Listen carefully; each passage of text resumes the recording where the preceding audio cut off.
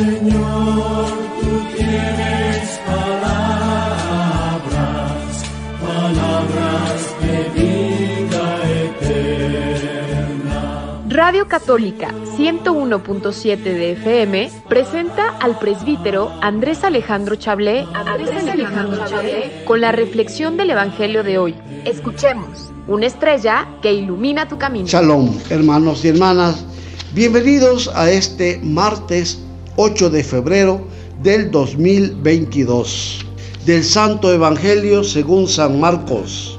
Gloria a ti, Señor. En aquel tiempo se acercaron a Jesús los fariseos y algunos escribas venidos de Jerusalén, viendo que algunos de los discípulos de Jesús comían con las manos impuras, es decir, sin habérselas lavado. Los fariseos y los escribas le preguntaron, ¿Por qué tus discípulos comen con manos impuras y no siguen la tradición de nuestros mayores? Los fariseos y los judíos en general no comen sin lavarse antes las manos hasta el codo, siguiendo la tradición de sus mayores. Al volver del mercado no comen sin hacer primero las abluciones y observan muchas otras cosas por tradición, como purificar los vasos, las jarras y las ollas. Jesús les contestó, qué bien profetizó Isaías sobre ustedes hipócritas cuando escribió, este pueblo me honra con los labios, pero su corazón está lejos de mí. Es inútil el culto que me rinden porque enseñan doctrinas que no son sino preceptos humanos. Ustedes dejan a un lado el mandamiento de Dios para aferrarse a las tradiciones de los hombres. Después añadió, de veras son ustedes muy hábiles para violar el mandamiento de Dios y observan su tradición. Porque Moisés dijo, honra a tu padre y a tu madre. El que maldiga a su padre o a su madre morirá. Pero ustedes dicen, si uno dice a su padre o a su madre, todo aquello con que yo te podía ayudar es corbán, es decir, ofrenda para el templo, ya no puede hacer nada por su padre o por su madre. Así también la palabra de Dios con esa tradición que se han transmitido y hacen muchas cosas semejantes a estas. Palabra del Señor. Gloria a ti, Señor Jesús. Hermanos y hermanas, hemos escuchado el pasaje del capítulo 7 del Evangelio de San Marcos, versículos del 1 al 13. Están en juego aquí criticadas fuertemente por Jesús las tradiciones y las costumbres. Cuidado, porque Jesús critica severamente.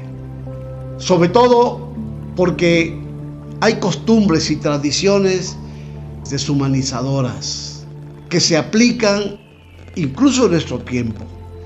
Tradiciones crueles que a veces atacan, ofenden a la vida. Por eso Jesús dice, deberían de practicar mejor el mandamiento de Dios. Fijémonos que no está hablando en plural Jesús sino en singular. Y el mandamiento de la ley de Dios es el mandamiento del amor. No es otra cosa.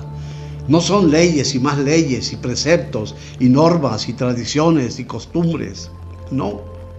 Ustedes se olvidan del mandamiento de Dios y anteponen el de ustedes. Por eso pone el ejemplo. Dicen, no te puedo dar nada, papá, mamá, porque lo que te iba yo a dar es corbán, quiere decir la ofrenda para el templo. Primero está el mandamiento de Dios al Padre y a la Madre, y después está la ofrenda. A veces, hermanos y hermanas, nosotros también hoy anteponemos el corbán, quiere decir el pretexto de la ofrenda o de otro tipo de pretexto para no cumplir con el mandamiento del amor al prójimo. El amor a Dios es el amor al prójimo. el amor al padre, a la madre, al hermano, a la familia, al que sufre, al que necesita, sin ningún pretexto. Cómo Jesús critica esas tradiciones y costumbres que se convierten más en excusas para no amar y no lleva a la persona ningún compromiso con nadie. Con el pretexto de cumplir la ley de Dios, muchas veces cometemos inhumanidades, injusticias, falta de amor verdadero al que necesita. Shalom, hermanos y hermanas, hasta el próximo comentario. Señor, tú tienes palabras